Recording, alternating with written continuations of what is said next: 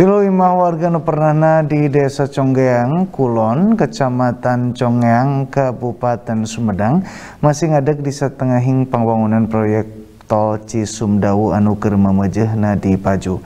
Eta warga nu boga imah tiluan ngeceskeun moal bakal pindah lantaran tepi kaki wari tacan nampak duit ganti rugi tina pangwangunan jalan tol.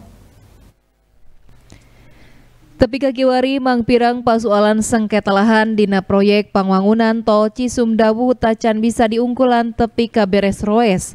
Kawas anu karandapan di Dusun Cibodas, Desa Conggeang Kulon, Kecamatan Conggeang, Kabupaten Sumedang.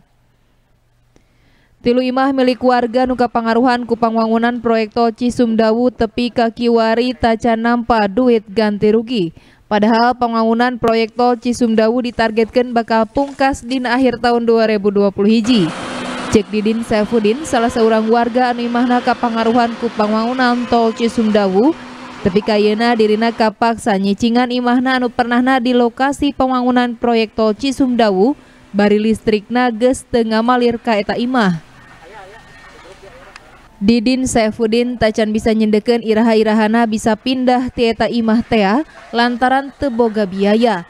Pangna kitu Didin jeung kula wargana masih ngadago kacindekan iraha-irahana duit ganti rugi anu jadi hakna bakal dibayar ku pihak anu ngokolakeun pambangunan tol Cisumdawu. Kendalanya belum ya belum dibayar aja. Belum belum dibayar. Sudah berapa lama Pak bertahan di sini Pak? Ya mulai berjalan aja ini mulai berjalan. Datang bekok datang alat-alat. Rencananya kapan mau pindah pak? Nggak tahu dah nggak ada uang ya mau pindah ke mana? Katanya kapan dibayarnya pak belum ada. Belum ada informasi. Dulu waktu ke desa janji Juli nggak nggak cair sampai Agustus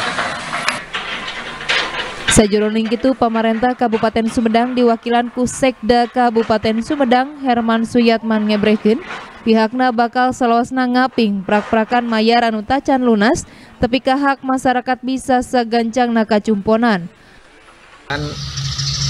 Beberapa waktu yang lalu saya ke lapangan langsung untuk melakukan cek recek ada lima eh, pemilik rumah di sana di Desa Congyang Kulon masuk ke apa namanya lokasi yang dibebaskan untuk pembangunan jalan tol. Tetapi proses pencairannya masih ada di Helman sementara pembangunan fisik konstruksi ini sudah sangat mendesak.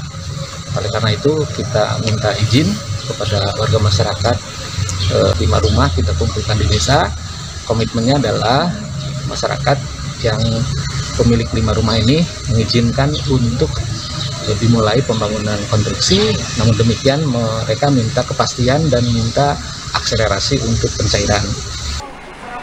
Warga miharap prak-prakan mayar duit ganti rugi anu jadi hakna sagancang na dibayar. Sangkan bisa neangan imah anyar di lelewak sejen turta bisa ngalakunan kegiatan sapopoe cara sasari deui. Di Namprona, kiwari warga ngerasa lewang lantaran kapaksa nyicingan imahna di satengahing proyek pembangunan tol Cisumdawu di Paju, bari kaganggu ku geteran katut sora tina alat berat anu ngaguruh. Diki Guntara, Bandung TV.